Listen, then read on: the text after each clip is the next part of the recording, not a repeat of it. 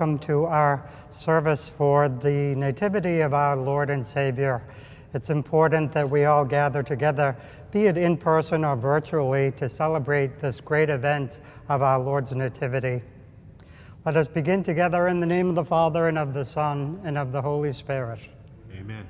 The grace of our Lord Jesus Christ, the love of God, and the communion of the Holy Spirit be with you all. And with your spirit.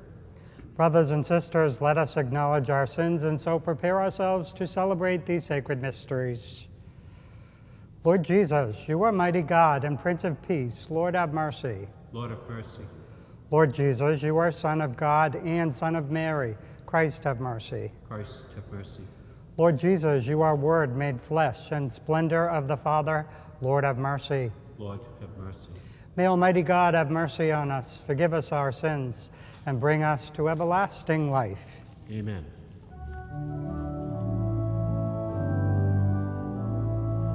Glory to God, glory to God, glory to God in the highest, and on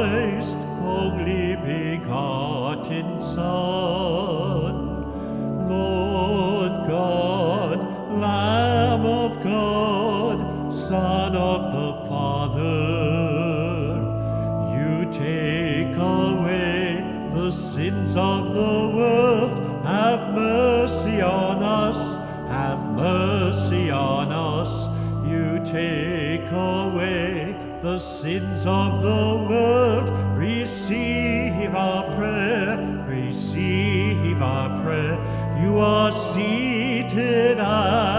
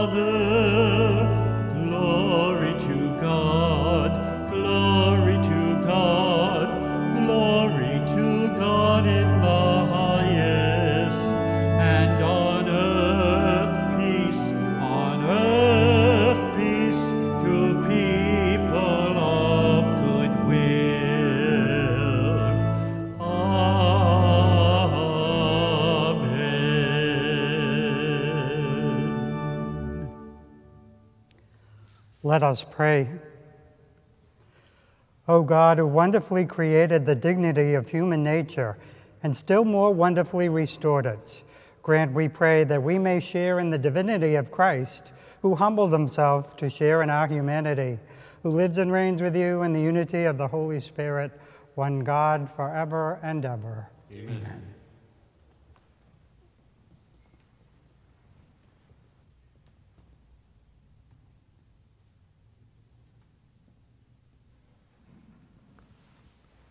A reading from the book of the prophet Isaiah.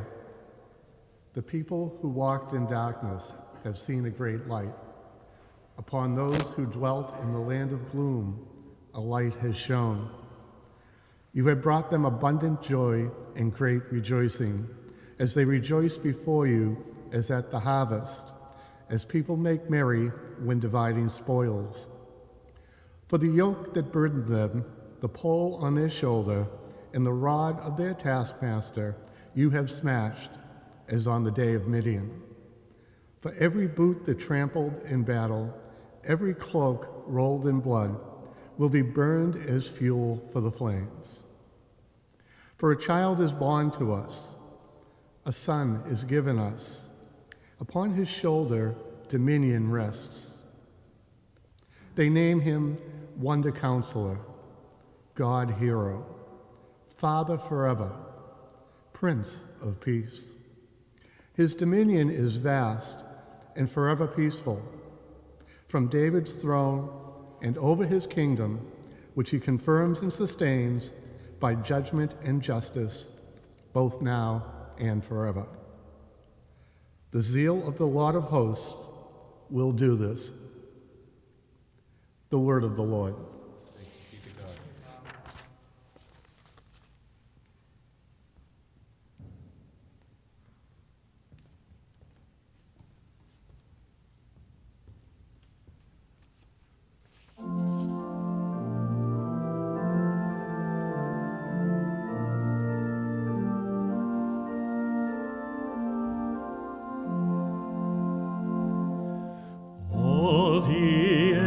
Of the earth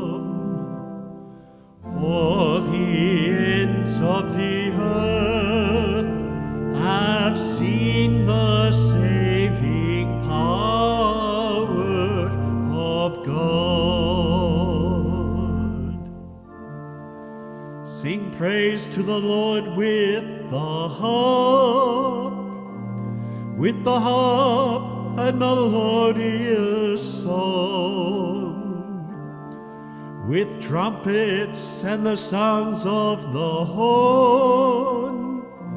Sing joyfully before the King, the Lord. All the ends of the earth seen the saving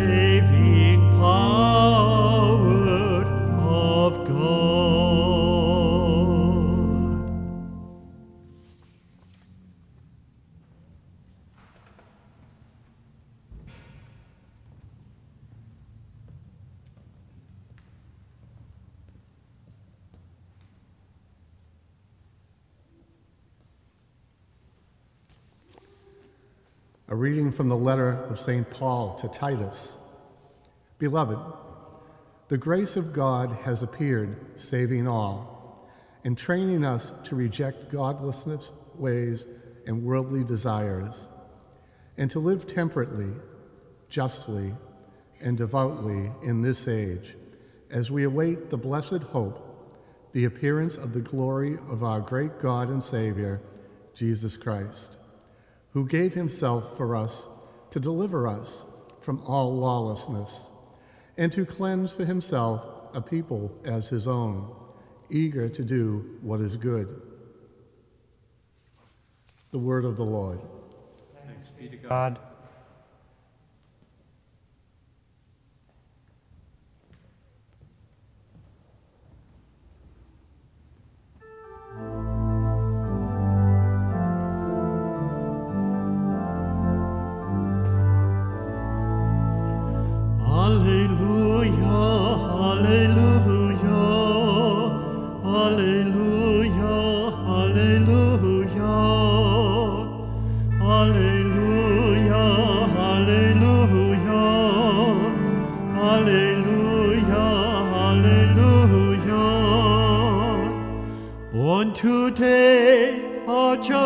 And our mercy, God in flesh among us, Lord Jesus Christ. Alleluia,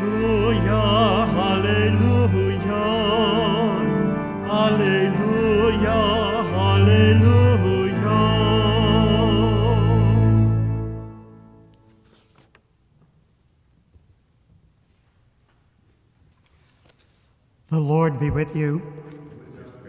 A reading from the Holy Gospel according to Luke. Glory to you, O Lord. In those days, a decree went out from Caesar Augustus that the whole world should be enrolled. This was the first enrollment when Quirinius was governor of Syria. So all went to be enrolled, each to his own town. And Joseph too went up from Galilee, from the town of Nazareth to Judea, to the city of David that is called Bethlehem, because he was of the house and family of David, to be enrolled with Mary, his betrothed, who was with child. While they were there, the time came for her to have her child, and she gave birth to her firstborn son. She wrapped him in swaddling clothes and laid him in a manger because there was no room for them in the inn. Now there were shepherds in that region living in the fields and keeping the night watch over their flock. The angel of the Lord appeared to them, and the glory of the Lord shone around them, and they were struck with great fear. The angel said to them, Do not be afraid, for behold, I proclaim to you good news of great joy that will be for all the people. For today, in the city of David, a Savior has been born for you, who is Christ the Lord. And this will be a sign for you. You will find an infant wrapped in swaddling clothes and laying in a manger. And suddenly there was a great multitude of heavenly hosts with the angel, praising God and saying, Glory to God in the highest, and on earth peace to those on whom his favor rests. The Gospel of the Lord. You, Lord well, once again, greetings to everyone. Um, it's great to be with you here, at least virtually. And on behalf of our pastor, Father Tom Stanton, myself, Father Bob Cullen, and Father Joe Ossenalt, and our entire collaborative staff, we want to wish you and everyone in your household a very Merry Christmas. As you probably all know, December 21st is the shortest day of the year and so has the least amount of light. It's behind us now, and the light of day will now increase every day. And this year, the planets of Jupiter and Venus pass very close to each other under the December solstice, creating a great light in the sky. It's a phenomenon that occurs very rarely, maybe every 800 years. Some have called this the Christmas star, maybe providing an explanation for what we hear in the Gospel of Matthew that says, A bright star rose after the birth of Jesus Christ, that the wise men followed to find him. It was definitely something to see, and really a consolation for all of us who have been living in this very dark time. Today we celebrate once again the incarnation of God, the birth of Jesus Christ, of the Blessed Virgin Mary, and her earthly husband Joseph. As my mind wanders off to that scene in the manger described by St. Luke in our Gospel, there are two important messages that I want to focus on. And they come to us, of course, in the birth of our Savior, Christ the Lord. In the fields were some shepherds, and the angel appears to them, telling them not to be afraid, because there is great joy to be had in the birth of our Savior, and invites them to go and see that infant wrapped in swaddling clothes in the manger.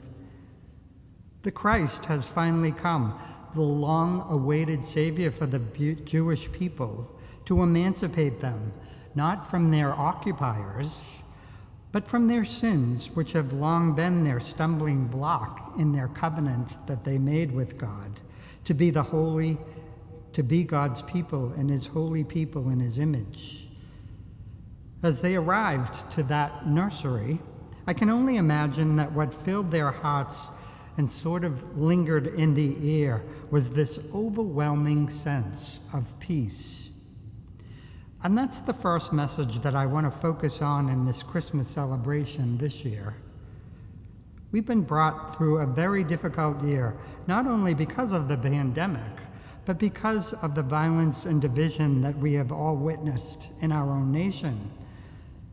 And this is what happens when people don't have this internal peace which can only come when we know and love God as our Creator, Redeemer, and Sanctifier, when we have a very real sense of the transcendent in our world. Love and the peace that comes with it is, very, is the very essence of the one true God. And I don't mean at all to restrict that peace to those who hold Christian beliefs, because we all have the ability to know God at some level no matter what religion we follow. Peace is a universal gift offered by God, and if we have that first and foremost as part of our being, then respect and genuine kindness are the attitudes that will guide our conversations and our actions.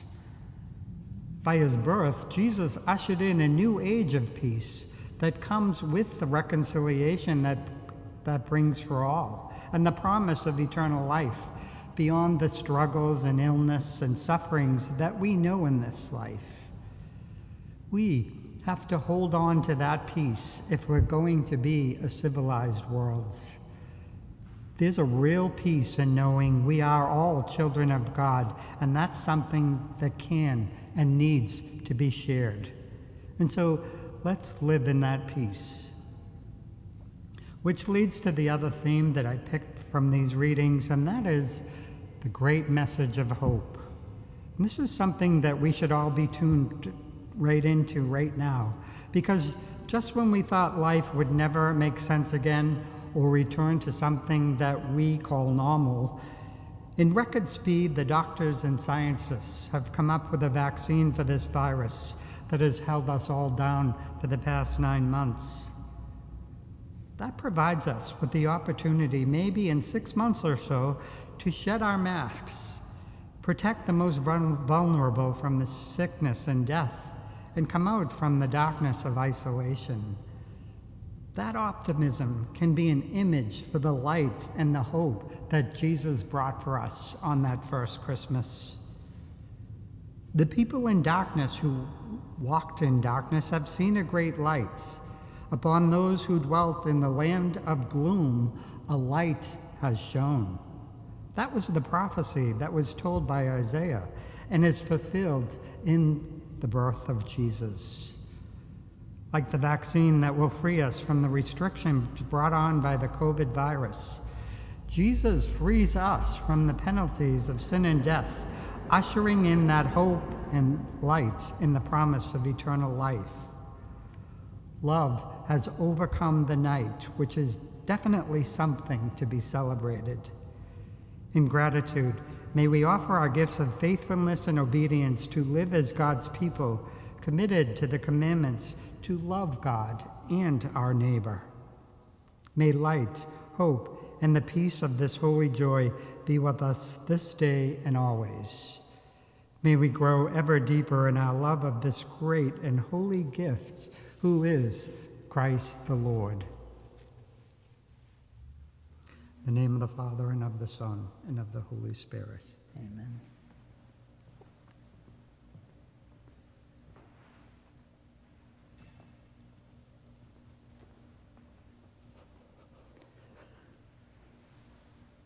As a community of faith, we stand together and profess it. I believe in one God, the Father Almighty, maker of heaven and earth, of all things visible and invisible. I believe in one Lord Jesus Christ, the only begotten Son of God, born of the Father before all ages, God from God, light from light, true God from true God, begotten, not made, consubstantial with the Father. Through him all things were made. For us men and for our salvation, he came down from heaven, and by the Holy Spirit was incarnate of the Virgin Mary and became man.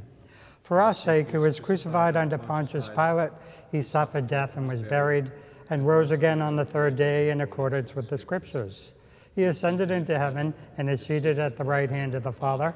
He will come again in glory to judge the living and the dead, and his kingdom will have no end. I believe in the Holy Spirit, the Lord, the giver of life, who proceeds from the Father and the Son, who with the Father and the Son is adored and glorified, who has spoken through the prophets. I believe in one holy Catholic and apostolic church. I confess one baptism for the forgiveness of sins. I look forward to the resurrection of the dead and the life of the world to come. Amen.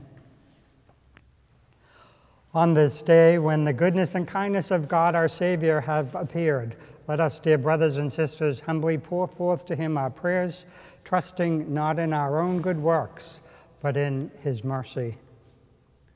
That the lives and prayers of Christians around the world will lead many to the salvation brought by the infant of Bethlehem. We pray to the Lord. Lord, hear our prayer. That the infant Prince of Peace will inspire world leaders to work to bring peace to our world, we pray to the Lord. Oh, Lord, hear our prayer. That our national leaders will govern justly and wisely, we pray to the Lord. Lord, hear our prayer.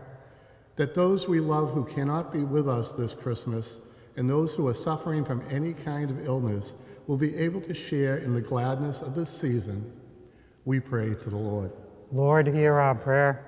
That God will bless the priests of our archdiocese with strength and joy, and bless the priests who have gone to their rest with eternal life. We pray to the Lord. Lord, hear our prayer. That God will bless the people of our collaborative with the ability that the shepherds had to approach Jesus without fear and find in him the peace only he can give. We pray to the Lord. Lord, hear our prayer. And for all the intentions we hold in the silence of our hearts, which is our Mass intention, we pray to the Lord. Lord, hear our prayer. We pray, O Lord our God, that the Virgin Mary, who merited to bear God and man in her chaste womb, may commend the prayers of your faithful in your sight, through Christ our Lord. Amen. O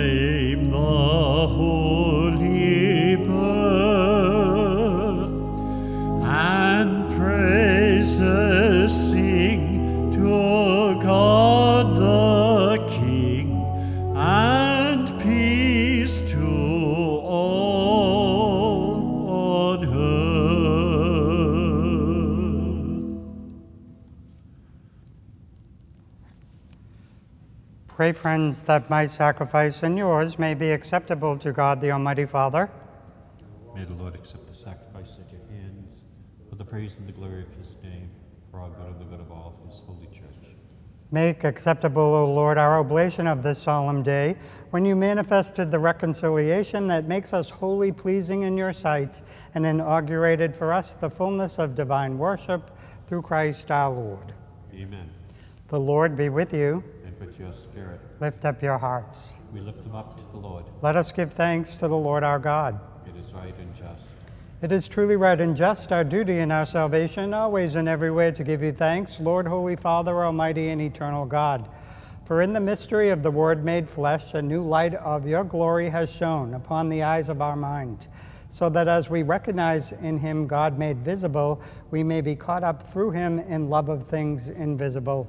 And so with the angels and archangels, with thrones and dominions, and with all the hosts and powers of heaven, we sing the hymn of your glory as without end we acclaim.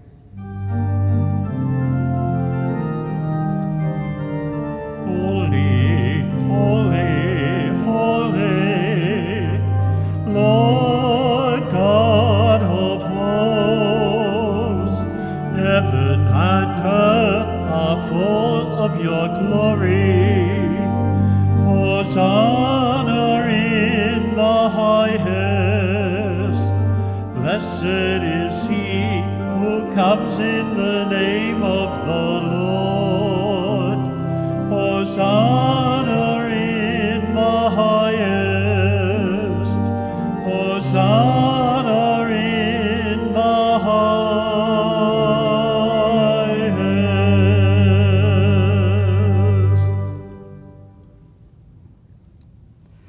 You are indeed holy, O Lord, and all you have created rightly gives you praise. For through your Son, our Lord Jesus Christ, by the power and working of the Holy Spirit, you give life to all things and make them holy. And you never cease to gather a people to yourself, so that from the rising of the sun to its setting, a pure sacrifice may be offered to your name. Therefore, O Lord, we humbly implore you by the same Spirit, graciously make holy these gifts we have brought to you for consecration, that they may become the body and blood of your Son, our Lord Jesus Christ, at whose command we celebrate these mysteries. For on the night he was betrayed, he himself took bread, and giving you thanks, he said the blessing, broke the bread, and gave it to his disciples, saying, Take this, all of you, and eat of it. For this is my body, which will be given up for you.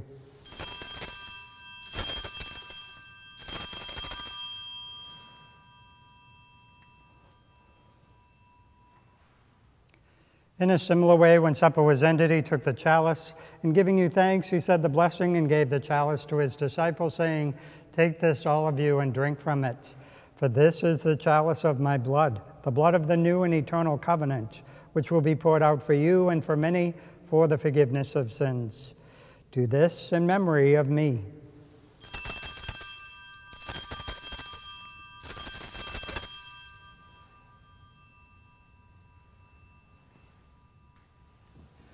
The mystery of faith.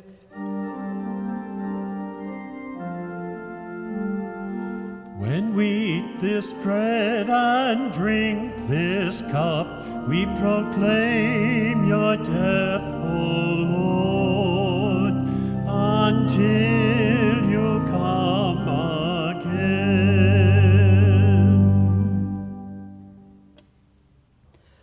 Therefore, O Lord, as we celebrate the memorial of the saving passion of your Son, his wondrous resurrection and ascension into heaven, and as we look forward to his second coming, we offer you in thanksgiving this holy and living sacrifice. Look, we pray, upon the oblation of your church, and recognizing the sacrificial victim by whose death you willed to reconcile us to yourself. Grant that we, who are nourished by the body and blood of your Son and filled with his Holy Spirit, may become one body, one spirit in Christ. May he make of us an eternal offering to you, so that we may obtain an inheritance with your elect, especially with the most blessed Virgin Mary, Mother of God, with blessed Joseph, her spouse, with your blessed apostles and glorious martyrs, with St. Bridget and with all the saints, on whose constant intercession in your presence we rely for unfailing help. May the sacrifice of our reconciliation, we pray, O Lord, advance the peace and salvation of all the world.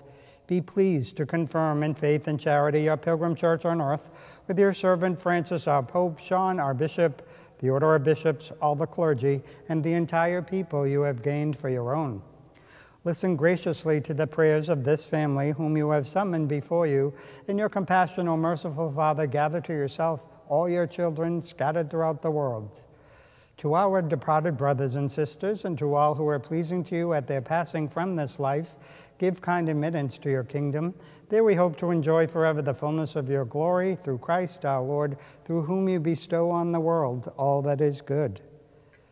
Through him and with him and in him, O God, Almighty Father, in the unity of the Holy Spirit, all glory and honor is yours forever and ever.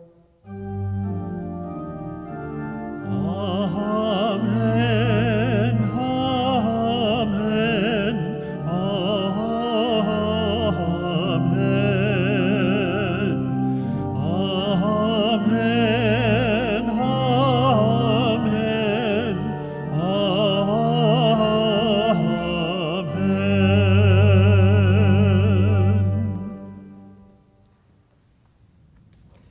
At the Savior's command, informed by divine teaching, we dare to say, Our Father, who art in heaven, hallowed be thy name.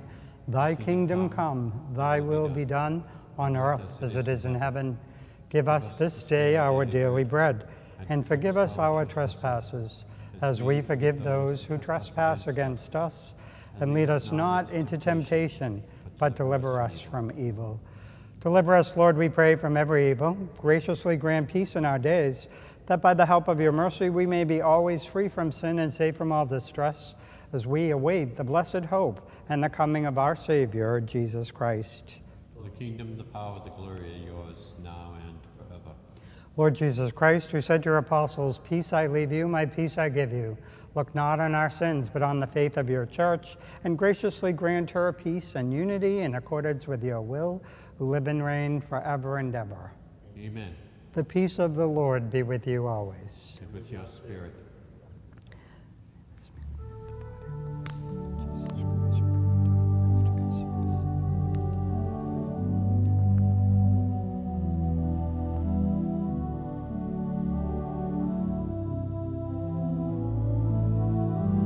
Lamb of God, you take away the sins of the world. Have mercy on us, Lamb of God. Lamb of God, you take away the sins of the world. Have mercy on us, Lamb of God. Lamb of God, you take away the sins of the world. Have mercy on us, grant us peace.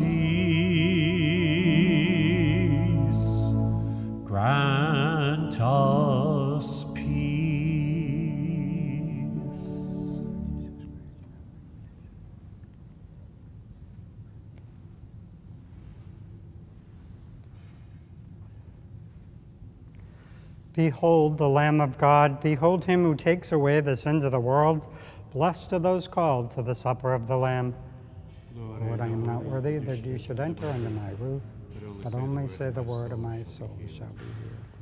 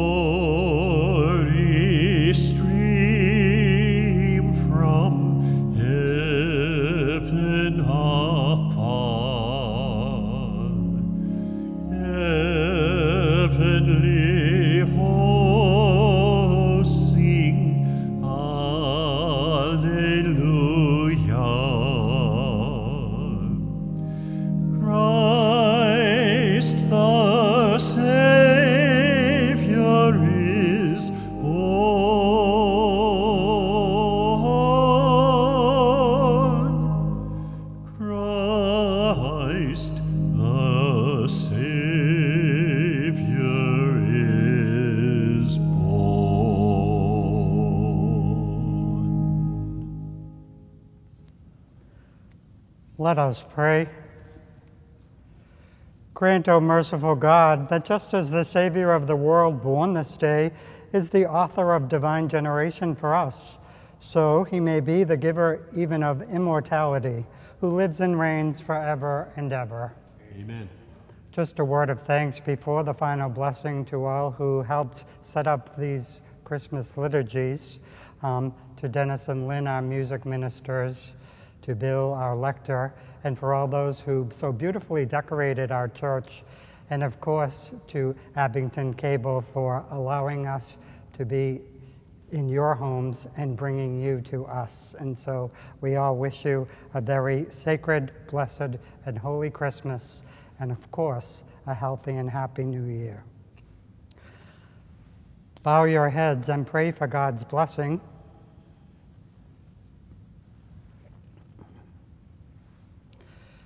May the God of infinite goodness, who by the incarnation of his Son has driven darkness from the world, and by that glorious birth has illumined this most holy day, drive far from you the darkness of vice and illume your hearts with the light of virtue. Amen.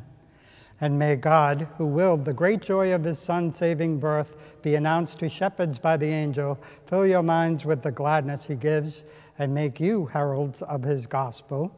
Amen. Amen.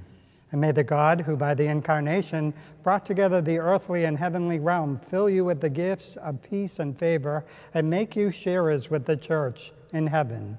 Amen. And may the blessing of Almighty God, the Father and the Son, and the Holy Spirit come upon you and remain with you forever. Amen. Amen. Go forth, the Mass is ended. Thanks Thanks, be to God. God. Joy to the world, the Lord is come. Let earth receive her King. Let every heart prepare him room, heaven and nature sing, and heaven and nature sing, and heaven and heaven and nature sing. Joy to the world, the Savior reigns. Let us our songs employ, while fields and floods, rocks, hills, and plains. Repeat the sounding joy, repeat the sounding joy, repeat, repeat the sounding joy. He rules the world with truth and grace and makes the nations prove the glories of his righteousness and wonders of his love and wonders of his love and wonders, wonders of his love.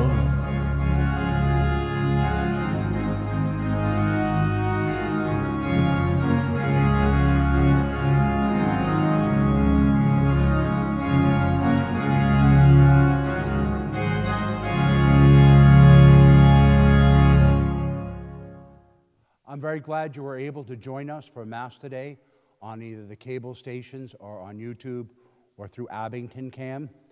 Um, as you know, the, the church's financial needs are constant. Throughout the Archdiocese of Boston, the collection taken up on Christmas is for the senior and retired priests of our diocese. We have one who lives with us, Father Joseph Arsenault, and we have some who help out in our parish, including Father Mark Riley. So we pray that you're able to support the senior and retired priests of the diocese. Weekly, the collection is, provides for the needs of our parishes, which are great at this time because we have limited attendance because of COVID. We are thankful to so many who are able to support our parish each and every week. And if you are unable to do so, continue to please pray for our parishes. If you are able to do so, we are very grateful your, for your contribution.